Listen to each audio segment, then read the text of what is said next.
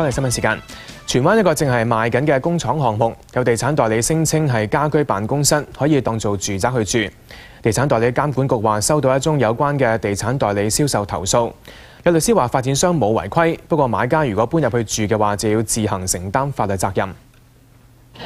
由香港興業發展嘅荃灣 Dan Six 正興建二十層高嘅工業大廈，售樓書列明大廈係工業用途。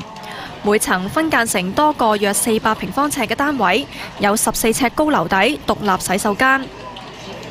大廈附近有休憩設施。發展商六月以樓花形式發售，賣二百萬到五百萬不等，比同區海景辦公室嘅尺價貴近兩成。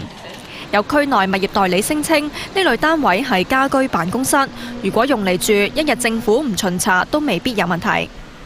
第時講嗰嗰樣嘢咧，就你係攞嚟自用啦，係一個自雇人士咧，做一啲一啲特別嘅行業咯，即係好似設計啊乜都得嘅。其實好多類咯都可以融合到落嚟喺工廠裏邊做嘅嘢。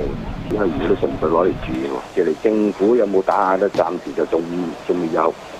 咁你話喂，將來會唔會？我真係唔敢講。左右隔離都係工業大廈，有寫字樓、車房同埋貨倉等等，不時日都有啲重型貨車喺度出入。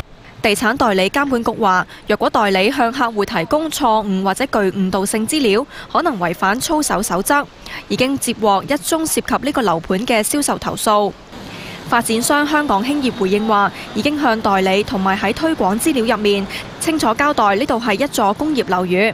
有律師話，發展商依足法例賣工業樓並無違法，但買家住喺工業單位入面，隨時被釘契。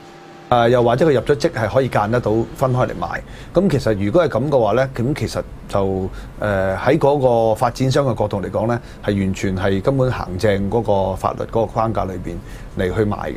咁而至於你話買家諗住，既然你咁樣設計呢，我就可以用咗第二啲用途嘅話呢，其實就首當其衝應該係買家自己會負晒所有責任。